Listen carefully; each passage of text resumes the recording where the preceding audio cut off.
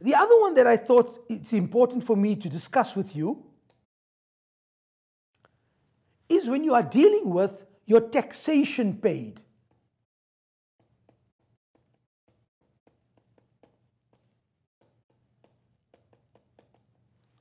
Right?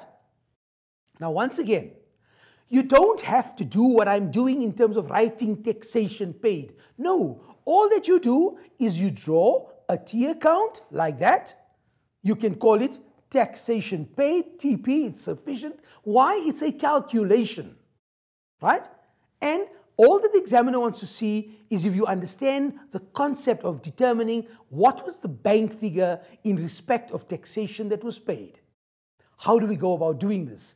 Step number one, look for your opening balance, right? Let me take you back to what I said earlier on in the lesson. What type of an account is your SARS income tax, right? What type of an account is SARS income tax? And the answer is it depends on whether it has a debit balance or a credit balance. So look for your opening balance either under trade and other receivables or trade and other payables. Got it?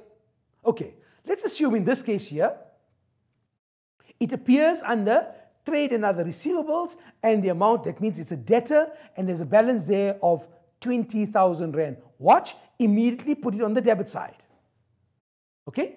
So I've dealt with my opening balance. Step number two, look for your closing balance. Where am I going to find the closing balance for SARS income tax?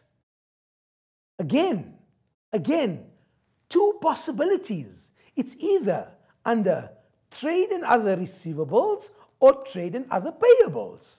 That's the two possibilities. Okay? That's the only two places where you can find your SARS income tax. Let's assume that the end of the year, your closing balance is a credit balance of 15,000 Rand. Now watch this. This is important. It's a credit balance of 15,000 Rand, meaning you are still owing SARS an amount of 15,000 Rand. Got it? Okay, so this is what we do. 15,000 Rand.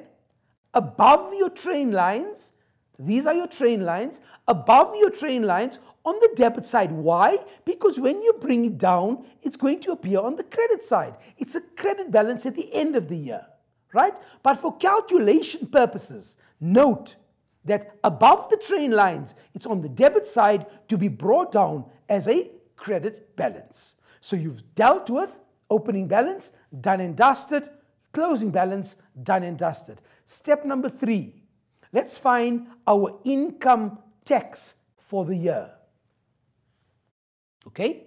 And you are told that your income tax for the year, obviously, where is this information going to appear? In an extract of your income statement, because you know when you're drawing up your statement of comprehensive income, you have your taxation in that uh, part of your, the bottom part of your calculation, income tax for the year. So in this case here, if we say the income tax amounted to 115,000 Rand. Watch, what's my double entry?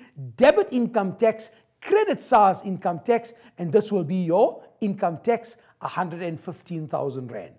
Okay, so now you've got all the components that you need. What are you looking for? You're looking for your bank figure. What was the amount of taxation that was paid? And that's the figure that you, you are expected to put into your cash flow statement. Taxation paid. What was the amount of money that left our bank account? Okay? So what do we do? Watch my calculation. Open my bracket, 115,000, right? Notice my 20,000 is on the opposite side, minus 20,000. My closing balance is also on the opposite side, minus 15,000. And obviously, if you do that, 115 minus is, is equal to 80,000 Rand. You're not going to do what I'm doing. You're going to do it with a calculator. And therefore, you're going to get a figure there of 80,000 Rand. That's the value of taxation that has been paid.